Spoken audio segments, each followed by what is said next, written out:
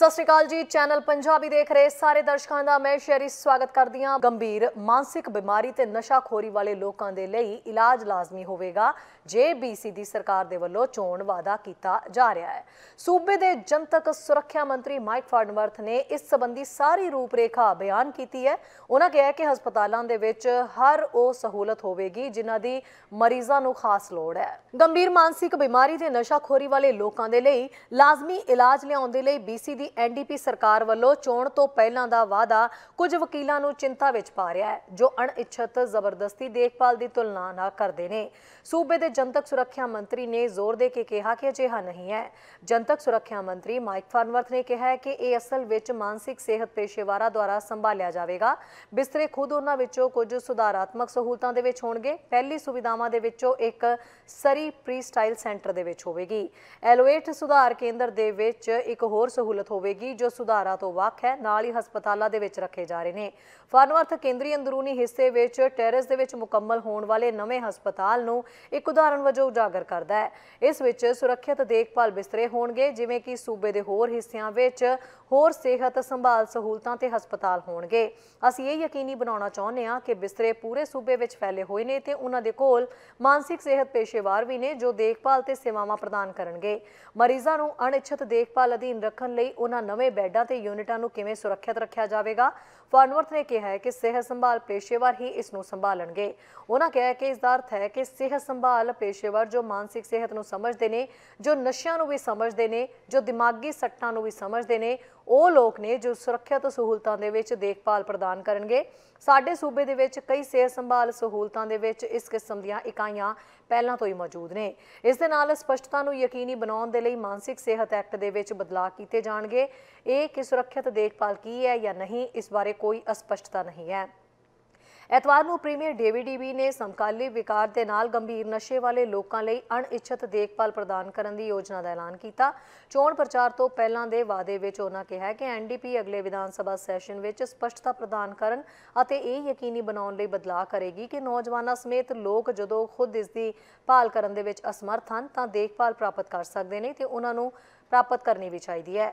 ਸਰਕਾਰ ਨੇ ਕਿਹਾ ਹੈ ਕਿ ਉਹ ਇਸ ਬਾਰੇ ਸਪਸ਼ਟੀਕਰਨ ਜਾਰੀ ਕਰਨਗੇ ਕਿ ਮਾਨਸਿਕ ਸਿਹਤ ਐਕਟ ਦੀ ਵਰਤੋਂ ਸਵੈਇੱਛਕ ਤੇ ਜ਼ਬਰਦਸਤੀ ਅਨਿਸ਼ਚਿਤ ਦੇਖਭਾਲ ਪ੍ਰਦਾਨ ਕਰਨ ਲਈ ਕਿਵੇਂ ਕੀਤੀ ਜਾ ਸਕਦੀ ਹੈ, ਜਦੋਂ ਲੋਕਾਂ ਨੂੰ ਨਸ਼ੇ ਦੇ ਨਾਲ-ਨਾਲ ਮਾਨਸਿਕ ਬਿਮਾਰੀ ਤੇ ਦਿਮਾਗੀ ਸੱਟ ਵੀ ਹੁੰਦੀ ਹੈ। ਨਿਊਜ਼ ਡੈਸਕ ਤੋਂ ਚੈਨਲ ਪੰਜਾਬੀ ਦੀ ਰਿਪੋਰਟ ਪ੍ਰਧਾਨ ਮੰਤਰੀ ਜਸਟਿਨ ਟਰੂਡੋ ਨੂੰ ਇੱਕ ਹੋਰ ਲਿਬਰਲ ਸੀਟ ਹਾਰਨ ਤੋਂ ਬਾਅਦ ਹੁਣ ਕੈਬਨਿਟ ਦਾ ਸਾਹਮਣਾ ਕਰਨਾ ਪਿਆ ਟਰੂਡੋ ਦੇ ਲਿਬਰਲਾਂ ਨੂੰ ਉਮੀਦ ਸੀ ਕਿ ਉਹ ਲਿਸਾਲ ਐਮਾਰਡ ਵਾਰਡਨ ਦੀ ਮੌਂਟਰੀਅਲ ਰਾਈਡਿੰਗ ਨੂੰ ਬਰਕਰਾਰ ਰੱਖ ਸਕਦੇ ਨੇ ਪਰ ਬਲਾਕ ਕਿਬੇਕਵਾ ਨੇ ਐਨਡੀਪੀ ਦੇ ਨਾਲ ਇੱਕ ਬਹੁਤ ਹੀ ਸਖਤ ਤਿੰਨ ਪੱਖੀ ਦੌੜ ਦੇ ਵਿੱਚ ਜਿੱਤਣ ਤੋਂ ਬਾਅਦ ਇਹ ਉਮੀਦਾਂ ਜਿਹੜੀਆਂ ਨੇ ਉਹ ਧਰੀਆਂ ਤਰਾਈਆਂ ਕਰ ਦਿੱਤੀਆਂ ਜਿਸ ਤੇ ਹੁਣ ਪ੍ਰਧਾਨ ਮੰਤਰੀ ਜਸਟਿਨ ਟਰੂਡੋ ਦਾ ਕਹਿਣਾ ਹੈ ਕਿ ਹੋਰ ਸੋਚਣ ਦੀ ਤੇ ਹੋਰ ਕੰਮ ਕਰਨ ਦੀ ਅਜੇ ਲੋੜ ਹੈ। ਪ੍ਰਧਾਨ ਮੰਤਰੀ ਜਸਟਿਨ ਟਰੂਡੋ ਨੇ ਜ਼ਿਮਨੀ ਚੋਣਾਂ ਦੇ ਵਿੱਚ ਲਿਬਰਲਾਂ ਦੀ ਹਾਰ ਤੇ ਪ੍ਰਤੀਕਿਰਿਆ ਦਿੰਦੇ ਹੋਏ ਕਿਹਾ ਹੈ ਕਿ ਪਾਰਟੀ ਨੂੰ ਇਸ ਹਾਰ ਬਾਰੇ ਗੰਭੀਰਤਾ ਨਾਲ ਸੋਚਣਾ ਹੋਵੇਗਾ। ਪੱਤਰਕਾਰਾਂ ਦੇ ਨਾਲ ਗੱਲਬਾਤ ਕਰਦਿਆਂ ਟਰੂਡੋ ਨੇ ਕਿਹਾ ਕਿ ਉਹ ਇਸ ਬਾਰੇ ਚਿੰਤਤ ਨੇ ਅਤੇ ਕਿਉਂ ਵੋਟਰਾਂ ਨੇ ਲਿਬਰਲ ਪਾਰਟੀ ਤੋਂ ਮੂੰਹ ਮੋੜਿਆ ਹੈ ਤੇ ਕਿਉਂ ਕਈ ਸਾਬਕਾ ਲਿਬਰਲ ਸਮਰਥਕ ਪਾਰਟੀ ਦੇ ਹੱਕ ਦੇ ਵਿੱਚ ਨਹੀਂ ਨਿਤਰੇ? ਉਹਨਾਂ ਕਿਹਾ ਕਿ ਜਿੱਤ ਤੇ ਇੰਨੀ ਨੇੜੇ ਆ ਕੇ ਹਾਰ ਜਾਣਾ ਕੋਈ ਮਜ਼ਾਕ ਨਹੀਂ। ਟਰੂਡੋ ਨੇ ਕਿਹਾ, ਸਪਸ਼ਟ ਤੌਰ ਤੇ ਵਾਰਡਨ ਨੂੰ ਜਿੱਤਣ ਦੇ ਯੋਗ ਹੋਣਾ ਵਧੀਆ ਹੁੰਦਾ, ਪਰ ਅਜੇ ਹੋਰ ਕੰਮ ਕਰਨਾ ਬਾਕੀ ਹੈ ਤੇ ਅਸੀਂ ਇਸ ਤੇ ਫੋਕਸ ਵੀ ਕਰ ਰਹੇ ਹਾਂ। ਬਲਾਕ ਕਬਿਕਵਾ ਤੇ ਜ਼ਮਨੀ ਚੋਣ ਦੇ ਉਮੀਦਵਾਰ ਲੂਈ ਫਿਲਿਪ ਸੋਵੀ ਨੇ ਲਿਬਰਲ ਉਮੀਦਵਾਰ ਲੋਰਾ ਪੈਲਸਟੀਨੀ ਨੂੰ ਬਹੁਤ ਹੀ ਘੱਟ ਫ਼ਰਕ ਦੇ ਨਾਲ ਹਰਾਇਆ। ਇਹ ਹੈਰਾਨੀਜਨਕ ਇਸ ਕਰਕੇ ਹੈ ਕਿਉਂਕਿ ਇਹ ਮੌਂਟਰੀਅਲ ਰਾਈਡਿੰਗ ਪਿਛਲੀ ਸਦੀ ਦੇ ਜ਼ਿਆਦਾਤਰ ਸਮੇਂ ਤੋਂ ਲਿਬਰਲ ਦੇ ਕੋਲ ਸੀ। ਬਲਾਕ ਅਤੇ ਲਿਬਰਲ ਉਮੀਦਵਾਰ ਦੇ ਵਿੱਚ 250 ਵੋਟਾਂ ਤੋਂ ਵੀ ਘੱਟ ਦਾ ਫ਼ਰਕ ਰਿਹਾ। ਵੈਸੇ ਐਨਡੀਪੀ ਨੇ ਵੀ ਲਾਸੇਲ ਐਮਾਰਡ ਵਾਰਡਨ ਦੀ ਇਸ ਰਾਈਡਿੰਗ ਦੇ ਵਿੱਚ ਆਪਣਾ ਆਧਾਰ ਬਣਾਉਣ ਦੀ ਕੋਸ਼ਿਸ਼ ਕੀਤੀ ਸੀ। ਹਾਲਾਂਕਿ ਪਿਛਲੇ ਕੁਝ ਸਾਲਾਂ ਤੋਂ ਕਿਊਬਿਕ ਸੂਬਾ ਐਨਡੀਪੀ ਦੇ ਲਈ ਕੋਈ ਜ਼ਰਖੇਜ਼ ਧਰਤੀ ਨਹੀਂ ਰਿਹਾ, ਪਰ ਜਗਮੀਤ ਸਿੰਘ ਦੀ ਉਮੀਦਵਾਰ ਲੀਲਾ ਡੈਂਸ ਨੇ ਵਿਨੀਪੈਗ ਦੀ ਐਲਮਵੁੱਡ ਟ੍ਰਾਂਸਕੋਨਾ ਰਾਈਡਿੰਗ ਦੇ ਵਿੱਚ ਜ਼ਿਮਨੀ ਚੋਣ ਦੇ ਵਿੱਚ ਜਿੱਤ ਦਰਜ ਕੀਤੀ। ਹਾਲਾਂਕਿ ਇਹ ਨਤੀਜਾ ਕੋਈ ਹੈਰਾਨੀਜਨਕ ਨਹੀਂ ਹੈ। ਪਿਛਲੇ ਕਰੀਬ 45 ਸਾਲ ਤੋਂ ਇਹ ਸੀਟ ਐਨਡੀਪੀ ਨੂੰ ਮਿਲਦੀ ਰਹੀ ਹੈ। ਟਰੂਡੋ ਨੇ ਕਿਹਾ ਕਿ ਵੋਟਾਂ ਘੱਟ ਪੈਣ ਕਰਕੇ ਵੀ ਪਾਰਟੀ ਦਾ ਨੁਕਸਾਨ ਹੋਇਆ ਹੋ ਸਕਦਾ ਹੈ।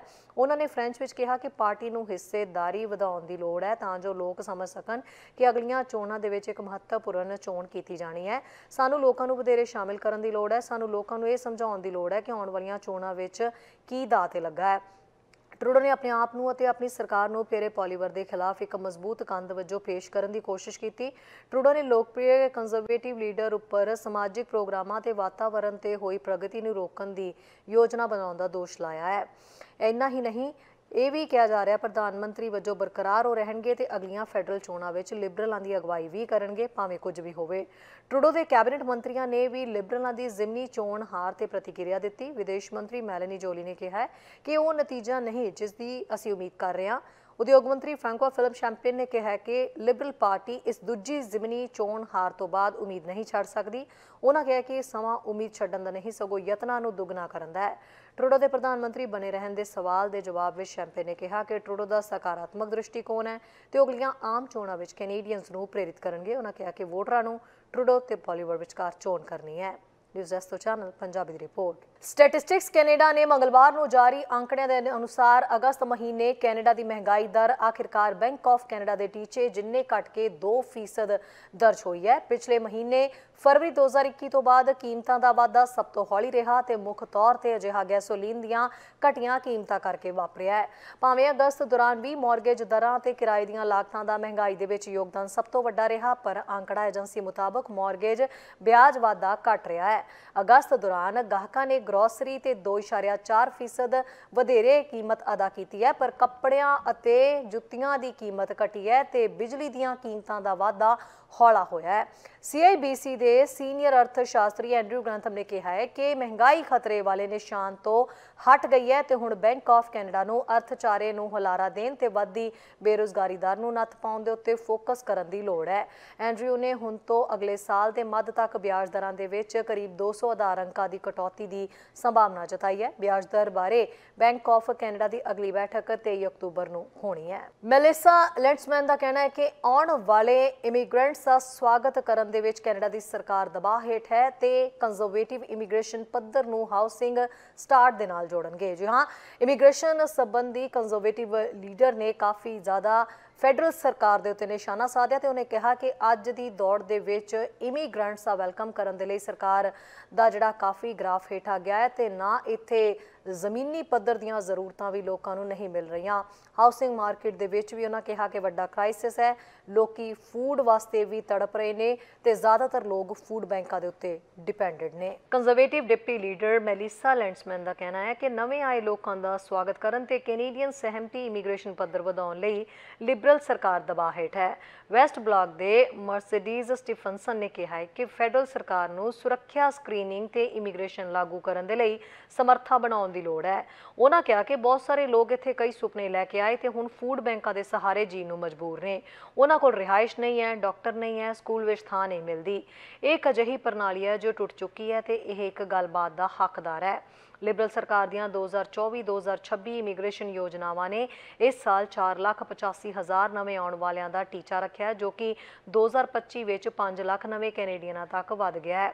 ਇਹਨਾਂ ਵਿੱਚੋਂ ਬਹੁਤੇ ਆਰਥਿਕ ਧਰਾਵਾਂ ਦੇ ਅਧੀਨ ਆਉਂਦੇ ਨੇ ਜਿਵੇਂ ਕਿ ਉੱਚ ਹੁਨਰਮੰਦ ਕਾਮੇ ਤੇ ਸੂਬਿਆਂ ਤੇ ਪ੍ਰਦੇਸ਼ਾਂ ਦੁਆਰਾ ਨਾਮਜ਼ਦ ਲੋਕ ਤੇ ਨਾਲ ਹੀ ਕੈਨੇਡੀਅਨਾਂ ਦੇ ਪਰਿਵਾਰਕ ਮੈਂਬਰ, ਜੀਵਨ ਸਾਥੀ, ਬੱਚੇ, ਮਾਤਾ-ਪਿਤਾ ਤੇ ਦਾਦਾ-ਦਾਦੀ। ਪਰ ਉਹਨਾਂ ਨਵੇਂ ਕੈਨੇਡੀਅਨਾਂ ਨੂੰ ਦੇਸ਼ ਭਰ ਦੇ ਵਿੱਚ ਮਹਿਸੂਸ ਕੀਤੇ ਜਾ ਰਹੇ ਦਬਾਅ ਦਾ ਸਾਹਮਣਾ ਕਰਨਾ ਪੈਣ ਦੀ ਗੱਲ ਆਖੀ। ਖਾਸ ਕਰਕੇ ਜਦੋਂ ਇਹ ਰਿਹਾਇਸ਼ ਤੇ ਆਰਥਿਕ ਮੌਕਿਆਂ ਦੀ ਗੱਲ ਬਣਦੀ ਹੈ। ਕੰਜ਼ਰਵੇਟਿਵ ਲੀਡਰ ਪੀਅਰੇ ਪੋਲੀਵਰ ਨੇ ਪਹਿਲਾਂ ਸੁਝਾਅ ਦਿੱਤਾ ਹੈ ਕਿ ਕੈਨੇਡਾ ਦੇ ਇਮੀਗ੍ਰੇਸ਼ਨ ਟੀਚਿਆਂ ਨੂੰ ਨਵੇਂ ਹਾਊਸਿੰਗ ਸਟਾਰਟ ਨਾਲ ਜੋੜਿਆ ਜਾਵੇ। ਹਾਲਾਂਕਿ ਇਹ ਸਪਸ਼ਟ ਹੈ ਹੀ ਹੈ ਕਿ ਇਹ ਕਿਵੇਂ ਕੰਮ ਕਰੇਗਾ। ਫੈਡਰਲ ਸਰਕਾਰ ਇਮੀਗ੍ਰੇਸ਼ਨ ਟੀਚਿਆਂ ਨੂੰ ਨਿਰੰਤਰਿਤ ਕਰਦੀ ਹੈ, ਪਰ ਇਹ ਸਿੱਧੇ ਤੌਰ ਤੇ ਕੰਟਰੋਲ ਨਹੀਂ ਕਰਦੇ ਨੇ ਤੇ ਹਰ ਸਾਲ ਕਿੰਨੇ ਘਰ ਬਣਾਏ ਜਾਂਦੇ ਨੇ। ਅੱਤਵਾਦੀ ਹਮਲਿਆਂ ਦੀ ਯੋਜਨਾ ਬਣਾਉਣ ਦੇ ਦੋਸ਼ੀ ਪੁਰਸ਼ਾਂ ਦੀਆਂ ਗਰਮੀਆਂ ਦੇ ਵਿੱਚ ਦੋ ਹਾਈ ਪ੍ਰੋਫਾਈਲ ਗ੍ਰਿਫਤਾਰੀਆਂ ਤੋਂ ਬਾਅਦ ਕੈਨੇਡਾ ਦੀ ਇਮੀਗ੍ਰੇਸ਼ਨ ਪ੍ਰਣਾਲੀ ਵੀ ਵੱਧਦੀ ਜਾਂਚ ਦੇ ਘੇਰੇ ਵਿੱਚ ਆ ਗਈ ਹੈ। ਫਿਲਹਾਲ ਟਰੂਡੋ ਸਰਕਾਰ ਦਾ ਕਹਿਣਾ ਹੈ ਕਿ ਅਸੀਂ ਦੇਸ਼ ਦੀ ਸੁਰੱਖਿਆ ਨੂੰ ਯਕੀਨੀ ਬਣਾਉਣ ਦੇ ਲਈ ਕਦਮ ਚੁੱਕ ਰਹੇ ਹਾਂ ਤੇ ਨੈਸ਼ਨਲ ਸਿਕਿਉਰਿਟੀ ਤੇ ਲਾਅ ਇਨਫੋਰਸਮੈਂਟ ਤੇ ਕੰਮ ਕੀਤਾ ਜਾ ਰਿਹਾ ਹੈ। ਇਸ ਟੈਸਟ ਤੋਂ ਚੈਨਲ ਪੰਜਾਬੀ ਦੀ ਰਿਪੋਰਟ। ਸਟੈਟਿਸਟਿਕਸ ਕੈਨੇਡਾ ਨੇ ਵਾਇਰਲੈਸ ਯੋਜਨਾਵਾਂ ਦੀ ਕੀਮਤ ਨੂੰ ਟਰੈਕ ਕਰਨ ਦੇ ਤਰੀਕੇ ਨੂੰ ਬਦਲ ਦਿੱਤਾ ਹੈ। ਤਾਂ ਜੋ ਇਸ ਗੱਲ ਦੀ ਵਧੇਰੇ ਸਟੀਕ ਤਸਵੀਰ ਹਾਸਲ ਕੀਤੀ ਜਾ ਸਕੇ ਕਿ ਕੈਨੇਡੀਅਨ ਕੀ ਭੁਗਤਾਨ ਕਰ ਰਹੇ ਨੇ, ਜਦੋਂ ਇਹ ਮਹਿੰਗਾਈ ਦਰ ਦੀ ਗਣਨਾ ਕਰਦਾ ਹੈ। ਏਜੰਸੀ ਇਹ ਦਰਸਾਉਣ ਦੇ ਲਈ ਡਿਜ਼ਾਈਨ ਕੀਤੇ ਗਏ ਪ੍ਰੋਫਾਈਲ ਦੇ ਸੈੱਟ ਦੇ ਆਧਾਰ ਦੇ ਉੱਤੇ ਯੋਜਨਾਵਾਂ ਦੇ ਇਸ਼ਤਿਹਾਰੀ ਲਾਗਤ ਤੇ ਵੈਬ ਇਕੱਠੇ ਕੀਤੇ ਡੇਟਾ ਦੀ ਵਰਤੋਂ ਕਰ ਰਹੀ ਹੈ ਕਿ ਪਰਿਵਾਰ ਆਪਣੇ ਡਿਵਾਈਸ ਦੀ ਵਰਤੋਂ ਕਿਵੇਂ ਕਰਦੀ ਹੈ। ਹਾਲਾਂਕਿ ਸਟੈਟਿਸਟਿਕਸ ਕੈਨੇਡਾ ਨੇ ਹੁਣ ਵਾਇਰਲੈਸ ਯੋਜਨਾਵਾਂ ਦੇ ਬਦਲਦੀ ਲਾਗਤ ਦੀ ਤਸਵੀਰ ਬਣਾਉਣ ਦੇ ਵਿੱਚ ਮਦਦ ਕਰਨ ਦੇ ਲਈ ਹਿੱਸਾ ਲੈਣ ਵਾਲੀਆਂ ਵਾਇਰਲੈਸ ਕੰਪਨੀਆਂ ਤੋਂ ਅਸਲ ਵਿਕਰੀ ਡੇਟਾ ਦੀ ਵਰਤੋਂ ਸ਼ੁਰੂ ਕਰ ਦਿੱਤੀ ਹੈ। ਏਜੰਸੀ ਦੀ ਮੰਗਲਵਾਰ ਦੀ ਰਿਪੋਰਟ ਦੇ ਆਧਾਰ ਦੇ ਉੱਤੇ ਅਗਸਤ ਦੇ ਵਿੱਚ ਸੈਲੂਲਰ ਸੇਵਾਵਾਂ ਦੀ ਕੀਮਤ 1 ਸਾਲ ਪਹਿਲਾਂ ਦੇ ਮੁਕਾਬਲੇ 12.8% ਫੀਸਦੀ ਘੱਟ ਸੀ। ਹਾਲਾਂਕਿ ਸਟੈਟਿਸਟਿਕਸ ਕੈਨੇਡਾ ਨੇ ਇਹ ਕਿਹਾ ਹੈ ਕਿ ਤਬਦੀਲੀ ਤੋਂ ਬਾਅਦ ਪਹਿਲੇ 12 ਮਹੀਨਿਆਂ ਦੇ ਲਈ ਸਾਲ ਦਰ ਸਾਲ ਦੀ ਜਿਹੜੀ ਉਹ ਵਿਆਖਿਆ ਕਰਦੇ ਸਮੇਂ ਸਾਵਧਾਨੀ ਵਰਤਣੀ ਚਾਹੀਦੀ ਹੈ। ਸੈਲੂਲਰ ਸੇਵਾਵਾਂ ਦੀ ਕੀਮਤ ਘਰੇਲੂ ਸੰਚਾਲਨ, ਫਰਨੀਚਰ ਤੇ ਉਪਕਰਨ ਸੂਚਕਾਂਕ ਦਾ ਹਿੱਸਾ ਹੈ। ਇਹ 2023 ਦੇ ਖਰਚਿਆਂ ਦੇ ਆਧਾਰ ਦੇ ਉੱਤੇ CPI ਬਾਸਕਟ ਦਾ 1.22 ਫੀਸਦੀ ਦਰਸਾਉਂਦਾ ਹੈ। ਅੱਗੇ ਦੇਖਦੇ ਹਾਂ, ਐਡਮਿੰਟਨ ਤੋਂ ਸਾਡੇ ਸੀਨੀਅਰ ਪੱਤਰਕਾਰ ਕੁਲਮੀਤ ਸਿੰਘ ਸੰਘਾ ਦੀ ਇਹ ਖਾਸ ਅਪਡੇਟ ਚੈਨਲ ਪੰਜਾਬੀ ਵੇਖ ਰਹੇ ਸਮੂਹ ਦਰਸ਼ਕਾਂ ਨੂੰ ਕੁਲਮੀਤ ਸਿੰਘ ਵੱਲੋਂ ਨਿੱਘੀ ਜੀ ਆਇਆਂ, ਵਾਹਿਗੁਰੂ ਜੀ ਕਾ ਖਾਲਸਾ, ਵਾਹਿਗੁਰੂ ਜੀ ਕੀ ਫਤਿਹ। ਐਡਮਿੰਟਨ ਸ਼ਹਿਰ ਤੋਂ ਦੋਸਤੋ, ਇੱਕ ਖਬਰ ਲੈ ਕੇ ਤੁਹਾਡੇ ਲਈ ਹਾਜ਼ਰ ਹੋ ਰਿਹਾ। ਖਬਰ ਇਹ ਆ ਕਿ ਪਿਛਲੇ ਸਾਲਾਂ ਦੇ ਵਿੱਚ ਨਾ ਜਿਹੜੇ ਐਡਮਿੰਟਨ ਪਬਲਿਕ ਸਕੂਲ ਸੀਗੇ, ਇਹਨਾਂ ਦੇ ਵਿੱਚ ਕਈ ਸਕੂਲਾਂ ਦੇ ਵਿੱਚ ਕੋਈ ਪੁਲਿਸ ਆਫੀਸਰ ਜਿਹੜੇ ਸੀਗੇ ਜੀ ਉਹ ਸਟੇਸ਼ਨ ਕੀਤੇ ਹੋਏ ਸੀਗੇ ਤਾਂ ਕਿ ਬੱਚਿਆਂ ਦੇ ਵਿੱਚ ਕੋਈ ਲੜਾਈਆਂ ਪੜਾਈਆਂ ਇਸ ਤਰ੍ਹਾਂ ਦਾ ਸਿਚੁਏਸ਼ਨ ਨਾ ਖੜੀ ਹੋਵੇ। ਅ, ਪਰ 2020 ਦੇ ਵਿੱਚ ਉਹ ਜਿਹੜਾ ਪ੍ਰੋਗਰਾਮ ਸੀਗਾ ਉਹ ਬੰਦ ਕਰ ਦਿੱਤਾ ਗਿਆ ਯਾਨੀ ਕਿ ਰਿਕੁਐਸਟ ਕੀਤੀ ਗਈ ਵੀ ਉਹ ਪੁਲਿਸ ਆਫੀਸਰ ਉੱਥੇ ਨਹੀਂ ਚਾਹੀਦੇ। ਪਰ ਹੁਣ 4 ਸਾਲਾਂ ਤੋਂ ਬਾਅਦ ਇੱਕ ਵਾਰ ਫਿਰ ਜਿਹੜੀ ਗੱਲਬਾਤ ਹੈ ਜੀ ਉਹ ਉੱਥੇ ਫੇਰ ਆ ਗਈ ਆ ਕਿ ਜਿਹੜੇ ਇਹ- ਇਹਨਾਂ ਨੂੰ ਜਾਣਿਆ ਜਾਂਦਾ ਸੀਗਾ ਰਿਸੋਰਸ ਆਫੀਸਰ ਦੇ ਤੌਰ ਦੇ ਉੱਤੇ। ਪੁਲਿਸ ਰਿਸੋਰਸ ਆਫੀਸਰਸ ਇਹ ਸਕੂਲਾਂ ਦੇ ਵਿੱਚ ਫੇਰ ਲਗਾਏ ਜਾਣ। ਇਹ ਐਡਮਿੰਟਨ ਪਬਲਿਕ ਸਕੂਲ ਬੋਰਡ ਦੇ ਜਿਹੜੇ ਹੈ ਨੇ ਜੀ ਸੁਪਰੀਨਟੈਂਡੈਂਟ ਮਿਸਟਰ ਡੈਰਨ ਅ, ਰਾਬਰਟਸਨ ਉਹਨਾਂ ਵੱਲੋਂ ਇਹ ਗੱਲ ਹੁਣ ਆਖੀ ਗਈ ਆ। ਉਹਨਾਂ ਨੇ ਪਹਿਲਾਂ ਇੱਕ ਸਟੱਡੀ ਕੰਡਕਟ ਕੀਤੀ ਸੀਗੀ 1.5 ਲੱਖ ਡਾਲਰ ਦੇ ਵਿੱਚ। ਔਰ ਉਸ ਸਟੱਡੀ ਦੇ ਵਿੱਚ ਉਹਨਾਂ ਸਾਰਿਆਂ ਨੇ ਗੱਲਾਂ ਬਾਤਾਂ ਕਰਨ ਤੋਂ ਬਾਅਦ ਇਹ ਸਿੱਟੇ ਤੇ ਪਹੁੰਚਿਆ ਕਿ ਹਾਂ ਬਈ, ਸਾਨੂੰ ਇਹ ਜਿਹੜੇ ਪੁਲਿਸ ਆਫੀਸਰ ਆ, ਇਹ ਜ਼ਰੂਰ ਚਾਹੀਦੇ ਹੈਗੇ ਨੇ। ਪਰ ਕੁਝ ਵਕੀਲਾਂ ਦਾ ਇੱਕ ਗਰੁੱਪ ਹੈਗਾ ਜੀ, ਉਹ ਕਹਿੰਦੇ ਆ ਵੀ ਇਹ ਗੱਲ ਜਿਹੜੀ ਆ ਠੀਕ ਨਹੀਂ ਹੈ। ਵੀ ਜਿਹੜਾ ਸਕੂਲ ਦੇ ਵਿੱਚ ਮਸਲੇ ਨੇ, ਉਹ ਸਕੂਲ ਵਿੱਚ ਹੀ ਹੱਲ ਹੋ ਜਾਣੇ ਚਾਹੀਦੇ ਆ। ਜਿਹੜੇ ਉਹਨਾਂ ਦੇ ਉੱਥੇ ਆਪਣੀ ਪੁਲਿਸਿੰਗ ਹੁੰਦੀ ਹੈ ਸਕੂਲ ਵਾਲਿਆਂ ਦੀ। ਰਾਦਰ ਦੈਨ ਕਿ ਪੁਲਿਸ ਆਫੀਸਰਸ ਉੱਥੇ ਵਰਦੀ ਦੇ ਵਿੱਚ ਹੋਣ ਔਰ ਹਥਿਆਰਬੰਦ ਹੋਣ। ਉਹਦਾ ਕਾਰਨ ਉਹ ਦੱਸ ਰਿਹਾ ਵੀ ਜਿਹੜੇ ਬੱਚੇ ਨੇ ਉਹ ਕਈ ਵਾਰੀ ਥ੍ਰੈਟਨਡ ਮਹਿਸੂਸ ਕਰਦੇ ਆ। ਔਰ ਦੂਸਰੀ ਗੱਲ ਆ, ਕਹਿੰਦੇ ਵੀ ਜਦੋਂ ਇਹਨਾਂ ਪੁਲਿਸ ਆਫੀਸਰਸ ਨੂੰ ਤੁਸੀਂ ਹਾਇਰ ਕਰਨਾ ਹੈ ਜਾਂ ਉੱਥੇ ਸਟੇਸ਼ਨ ਕਰਨਾ ਜਿਹਨਾਂ ਸਕੂਲਾਂ ਦੇ ਵਿੱਚ, ਉਹਨਾਂ ਪੁਲਿਸ ਆਫੀਸਰਸ ਦਾ ਬੈਕਗ੍ਰਾਉਂਡ ਚੈੱਕ ਵੀ ਪਹਿਲਾਂ ਹੋਣਾ ਚਾਹੀਦਾ ਕਿ ਉਹਨਾਂ ਦਾ ਬਿਹੇਵੀਅਰ ਲੋਕਾਂ ਦੇ ਨਾਲ ਕਿਸ ਤਰ੍ਹਾਂ ਦਾ ਹੈ। ਵੀ ਉਹ ਕਹਿੰਦੇ ਥਾਰੋ ਚੈੱਕ ਹੋਣਾ ਚਾਹੀਦਾ ਉਹਨਾਂ ਦਾ। ਤੇ ਫਿਰ ਤੁਸੀਂ ਉਹਦੀ ਗੱਲ ਕਰ ਸਕਦੇ ਆ। ਕੁਝ ਸਟੂਡੈਂਟਸ ਨੇ ਉਹ ਉਸ ਗੱਲ ਤੋਂ ਡਰਦੇ ਆ ਵੀ ਕਿਤੇ ਹਥਿਆਰਬੰਦ ਪੁਲਿਸ ਆਫੀਸਰ ਜਿਵੇਂ ਕਿਸੇ ਤੋਂ ਕੋਈ ਗੱਲਬਾਤ ਪੁੱਛਣ ਲਈ ਕਿਸੇ ਦੀ ਕਾਰ ਰੋਕੀ ਗਈ, ਉੱਥੇ ਕੋਈ ਉਹਨਾਂ ਦਾ ਆਪਸ ਵਿੱਚ ਗੱਲਬਾਤ ਹੋਈ, ਗੋਲੀ ਚੱਲ ਗਈ ਤੇ ਉਹ ਵਿਅਕਤੀ ਮਾਰਿਆ ਗਿਆ। ਉਦਾਂ ਦੀਆਂ ਗੱਲਾਂ ਸੋਚ ਕੇ ਕਈ ਜਿਹੜੇ ਵਿਦਿਆਰਥੀ ਆ, ਉਹ ਡਰਦੇ ਆ ਵੀ ਪੁਲਿਸ ਆਫੀਸਰ ਜਦੋਂ ਉਥੇ ਬੰਦੂਕ ਪਾ ਕੇ ਜਾਂ ਕੋਈ ਵੀ ਚੀਜ਼ ਉਹਨਾਂ ਤੇ ਹੁੰਦੀ ਹੈ ਜੀ, ਜਦੋਂ ਉਹ ਲੈ ਕੇ ਆਉਂਦੇ ਆ ਤੇ ਉਹ ਕਹਿੰਦੇ ਵੀ ਉਹਨਾਂ ਨੂੰ ਉੱਥੇ ਡਰ ਲੱਗਦਾ ਪਰ ਹੁਣ ਜਿਹੜੀ ਗੱਲਬਾਤ ਇੱਕ ਵਾਰ ਫਿਰ ਸਕੂਲ ਬੋਰਡ ਔਰ ਪੁਲਿਸ ਆਫੀਸਰ ਜਿਹੜੇ ਆ ਉਹ ਇਹ ਹਜੇ ਫੈਸਲਾ ਨਹੀਂ ਕੀਤਾ। ਅਹ, ਵੀ ਕਿੰਨੇ ਆਫੀਸਰ ਚਾਹੀਦੇ ਨੇ ਕਿੰਨਿਆਂ ਸਕੂਲਾਂ 'ਚ ਚਾਹੀਦੇ ਨੇ। ਉਹ ਇਸ ਗੱਲ ਤੇ ਫੈਸਲਾ ਆਉਣ ਵਾਲੇ ਸਮੇਂ ਵਿੱਚ ਕੀਤਾ ਜਾਏਗਾ ਪਰ ਰਿਟਰਨ ਇੱਕ ਵਾਰੀ ਫੇਰ ਹੋ ਰਹੇ ਨੇ ਜੀ ਪੁਲਿਸ ਆਫੀਸਰ ਜਿਹੜੇ ਸਕੂਲਾਂ ਦੇ ਵਿੱਚ ਆ ਰਹੇ ਨੇ, ਕਿ ਸਕੂਲਾਂ ਵਿੱਚ ਕਿਉਂਕਿ ਜਿਹੜੇ ਸਕੂਲਾਂ ਦੇ ਪ੍ਰਿੰਸੀਪਲ ਆ ਜੀ ਕਈਆਂ ਦੇ, ਉਹ ਕਹਿੰਦੇ ਵੀ ਜੇ ਇਸ ਤਰ੍ਹਾਂ ਦਾ ਕ੍ਰਿਮੀਨਲਾਈਜ਼ ਕੰਮਕਾਰ ਕਈਆਂ ਸਕੂਲਾਂ ਦੇ ਵਿੱਚ ਹੋ ਰਿਹਾ ਨਾ, ਬੱਚੇ ਕੁਝ ਡਰੱਗਸ ਜਾਂ ਹੋਰ ਇਦਾਂ ਦੀਆਂ ਚੀਜ਼ਾਂ ਲੈ ਆਉਂਦੇ ਆ, ਉਹਨਾਂ ਨੂੰ ਦੇਖ ਕੇ ਉਹ ਕਹਿੰਦੇ ਵੀ ਅਸੀਂ ਉਸ ਚੀਜ਼ ਨੂੰ ਹੈਂਡਲ ਨਹੀਂ ਕਰ ਸਕਦੇ ਤੇ ਉਹਦੇ ਲਈ ਸਾਨੂੰ ਪੁਲਿਸ ਦੀ ਹੈਲਪ ਜ਼ਰੂਰੀ ਆ। ਚੈਨਲ ਪੰਜਾਬੀ ਲਈ Kulmeet Singh Sangha Edmonton housing insurance ਸਮੇਂ ਕਿਹੜੀਆਂ ਗੱਲਾਂ ਦਾ ਖਿਆਲ ਰੱਖਣ ਦੀ ਲੋੜ ਹੈ? AMC ਇੰਸ਼ੋਰੈਂਸ ਤੋਂ ਜਾਣਦੇ ਆ ਤੇ ਉਹਦੀ ਇੰਸ਼ੋਰੈਂਸ ਵੀ ਡਿਫਰੈਂਟ ਡਿਫਰੈਂਟ ਹੁੰਦੀ ਆ। ਜਿਹੜਾ ਸਟੈਂਡਰਡ ਘਰ ਹੈਗੀ ਆ, ਉਹਦੀ ਇੰਸ਼ੋਰੈਂਸ ਕੰਪਨੀਆਂ ਡਿਫਰੈਂਟ ਤਰੀਕੇ ਨਾਲ ਦੇਖਦੀਆਂ। ਜਿਹੜੀਆਂ ਹਾਈ ਵੈਲਿਊ ਘਰ ਹੈਗੇ ਆ, ਉਹਨਾਂ ਦੀ ਇੰਸ਼ੋਰੈਂਸ ਡਿਫਰੈਂਟ ਤਰੀਕੇ ਨਾਲ ਦੇਖਦੀਆਂ। It's not only coverage coverage ਉਹਦੇ ਵਿੱਚ ਲੋਟ ਆਫ ਅਦਰ ਕਵਰੇजेस ਜਿਹੜੀਆਂ ਹੁੰਦੀਆਂ ਅਵੇਲੇਬਲ ਹੁੰਦੀਆਂ ਹੈਗੀਆਂ, ਜਿਹੜੀਆਂ ਮੇਨਲੀ ਆਮ ਬੰਦੇ ਨੂੰ ਲੋੜ ਨਹੀਂ ਹੁੰਦੀ ਹੈ ਤੇ ਜਿਹੜੀ ਹਾਈ ਵੈਲਿਊ ਘਰ ਇਹ ਚ ਕੋਈ ਚੇਂਜਸ ਵੀ ਹੋਈਆਂ ਇੰਸ਼ੋਰੈਂਸ ਨੂੰ ਲੈ ਕੇ ਪਿਛਲੇ ਸਮੇਂ ਦੌਰਾਨ? ਤੇ ਇਹਦੇ ਚ ਬਿਹਤਰ ਕਵਰੇਜ ਕੀ ਹੁੰਦੀ ਹੈ ਸਟੈਂਡਰਡ ਨਾਲੋਂ? ਸੋ ਮੇਨਲੀ ਜਿਹੜੀ ਇਹਨਾਂ ਦੇ ਵਿੱਚ ਆਪਣੀਆਂ ਕਵਰੇਜ ਕਰਦੇ ਜਿਹੜੇ ਲਾਇਬਿਲਿਟੀ ਹੈਗੀ ਆ ਰਾਈਟ ਉਹ ਤੁਹਾਨੂੰ 1 ਮਿਲੀਅਨ ਤੋਂ 100 ਮਿਲੀਅਨ ਮਿਲਦੀ ਹੈਗੀ ਆ, ਜੇ ਵਰਸਸ ਜਿਹੜੇ ਆਪਣੇ ਸਟੈਂਡਰਡ ਹਾਊਸ ਹੈਗੇ ਆ, ਉਹਦੇ ਤੇ 1 ਮਿਲੀਅਨ ਤੋਂ 5 ਮਿਲੀਅਨ ਤੱਕ ਹੀ ਅਵੇਲੇਬਲ ਹੁੰਦੀ ਹੈਗੀ ਆ। ਉਹਦੇ ਉੱਤੇ ਜਿਹੜੀ ਆਪਣੀ ਬਿਲਡਿੰਗ ਕਾਸਟ ਹੈਗੀ ਆ, ਜਿਹੜਾ ਅੰਦਰਲਾ ਆਪਣਾ ਸਮਾਨ ਹੈਗਾ ਆ ਉਹ ਕੈਸ਼ ਵੈਲਿਊ ਤੇ ਮਿਲਦਾ ਜੇ ਇਨ ਟਰਮ ਆਫ ਸਟੈਂਡਰਡ ਤੇ, ਉਹ ਐਕਚੁਅਲ ਕੈਸ਼ ਵੈਲਿਊ ਤੇ ਮਿਲਦਾ। ਇਹ ਕੈਸ਼ ਪੇ ਆਊਟ ਹੁੰਦਾ। ਸੋ ਜਿਹੜੇ ਆਪਣੇ ਅੰਦਰਲਾ ਕੰਟੈਂਟ ਆ 2 ਲੱਖ ਦੇ 3 ਲੱਖ ਦੇ ਹਾਈ ਵੈਲਿਊ ਸਟੱਫ ਆ, ਹੈਗਾ ਆਪਣੇ ਸ਼ੂਜ਼ ਪਰਸਸ ਐਕਸਪੈਂਸਿਵ ਹੈਗੇ ਆ, ਉਹ ਸਾਰਿਆਂ ਦੇ ਕੈਸ਼ ਪੇ ਆਊਟ ਹੁੰਦਾ ਆ। ਜੇ ਆਪਾਂ ਹਾਈ ਵੈਲਿਊ ਹੋਮ ਦੀ ਇੰਸ਼ੋਰੈਂਸ ਕਰਾਈ ਹੈਗੀ ਆ। ਐਂਡ ਇੱਕ ਹੋਰ ਯੂਨੀਕ ਜਿਹੜਾ ਇਹਦੇ ਵਿੱਚ ਹੈਗਾ ਆ, ਇਹ ਹੈਗਾ ਵੀ ਜੇ ਤੁਸੀਂ ਹਾਈ ਵੈਲਿਊ ਹੋਮ ਹੈਗਾ ਤੁਹਾਡਾ ਤੁਹਾਡਾ ਕੰਟੈਂਟ ਜਿਹੜੇ ਪਰਮਨੈਂਟ ਤੁਹਾਡੇ ਕੋਲ ਕੋਈ ਸਮਾਨ ਹੈਗਾ ਆ ਐਨੀਵੇਅਰ ਇਨ ਦ ਵਰਲਡ ਤੁਸੀਂ ਰੱਖਿਆ ਹੈਗਾ ਆ ਉਹਦੀ ਕਵਰੇਜ ਵੀ ਉਹਦੇ ਵਿੱਚ ਐਡ ਹੁੰਦੀ ਆ ਆਟੋਮੈਟਿਕਲੀ ਉਹਨਾਂ ਇਹ ਨਹੀਂ ਹੈਗਾ ਵੀ ਤੁਹਾਡੇ ਘਰ ਦਾ ਕਵਰੇਜ ਦੀ ਘਟ ਜਾਣੀ ਆ। ਉਹ ਔਨ ਟਾਪ ਆਫ ਇਟ ਮਿਲਦੀ ਹੈਗੀ ਆ। ਤੁਸੀਂ ਘਰ ਤੁਹਾਡਾ ਇੱਥੇ ਤਾਂ ਹੈ, ਕੋਈ ਕੰਟੈਂਟ ਤੁਹਾਡੇ ਇੰਡੀਆ ਦੇ ਵਿੱਚ ਰੱਖੇ ਹੋਏ ਹੈਗੇ ਜਾਂ ਜਿਹੜਾ ਕੋਈ ਸਮਾਨ ਤੁਹਾਡਾ ਉੱਥੇ ਵੀ ਪਿਆ ਹੈਗਾ ਆ, ਉਹਦੀ ਵੀ ਕਵਰੇਜ ਮਿਲਦੀ ਆ ਆਪਾਂ ਨੂੰ ਹਾਈ ਵੈਲਿਊ ਹੋਮ ਦੇ ਵਿੱਚ। ਤੇ ਇੱਕ ਪਿਛਲੇ ਸਮੇਂ ਦੌਰਾਨ ਫਰੋਤੀਆਂ ਦੀਆਂ ਕਾਲਾਂ ਤੇ ਕਾਫੀ ਕੁਝ ਚੱਲਿਆ। ਇੱਥੇ ਕਮਿਊਨਿਟੀ 'ਚ ਡਰ ਵੀ ਰਿਹਾ ਇਹ। ਤਾਂ ਜਿਹੜਾ ਐਕਸਟੋਰਸ਼ਨ ਕਿਡਨੈਪਿੰਗ ਇਹਦੀ ਕੋਈ ਕਵਰੇਜ ਕੋਈ ਹੁੰਦੀ ਹੈ ਇਹਦੇ 'ਚ ਇੰਸ਼ੋਰੈਂਸ 'ਚ?